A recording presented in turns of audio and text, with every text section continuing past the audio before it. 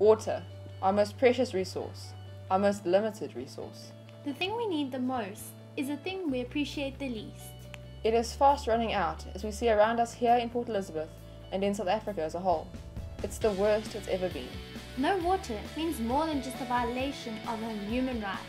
It's a violation of dignity. It is one of the most basic things that should be afforded to every person on this planet. It's not. One billion on this earth don't have access to clean drinking water. This is a photo taken in Despatch, just up the road from us. Our dams are almost empty. We're running out of something we can't live without. This is our reality. As a city, as a country, as humanity, we should be doing more to end this crisis. Save water not only for yourself, but for your loved ones, the strangers around you who too are loved, and for the generations to follow, so that they won't need to solve the problems we have caused. Save water, save life.